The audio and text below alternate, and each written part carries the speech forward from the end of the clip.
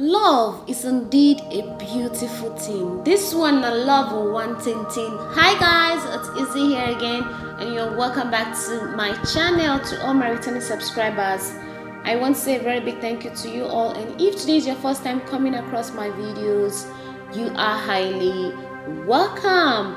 So guys, Davido and Chioma are set to get married because this their love no fit end for anywhere. This their love now go go. Nati eternity. Davido is all over Chioma. The love when Davido get for Chioma no be small at all. You know, every time the Davido is always looking at Chioma, looking at Chioma because the love that stick both of them together no be small thing.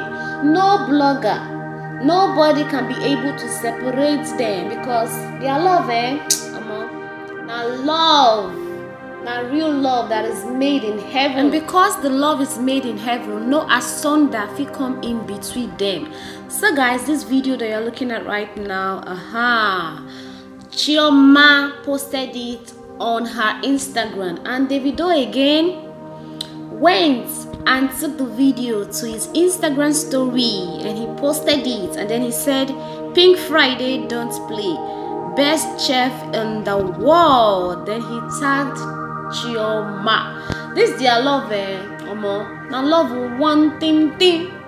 This their love will go far nobody go fit destroy this their love because the love when they get for each other na till eternity and we the in-laws you know with the in-laws of the social media. We are here waiting for the day. Davido, please, you have to hurry up because with the in-laws, huh? We want to eat party jollof rice. So you have to hurry up, eh? You have to hurry up so that everything will be settled because God Almighty have already joined both of you together. And nothing can separate you people. In fact, even two of you cannot separate yourself because it is joined together in heaven god don't join two of una together una no fit separate una sef alright guys now this one i say my tell now what are your thoughts regarding this? Kindly leave your comments below and do not forget to subscribe to my channel if you have not and also turn on the notification bell so that you get notified each time we upload a new video.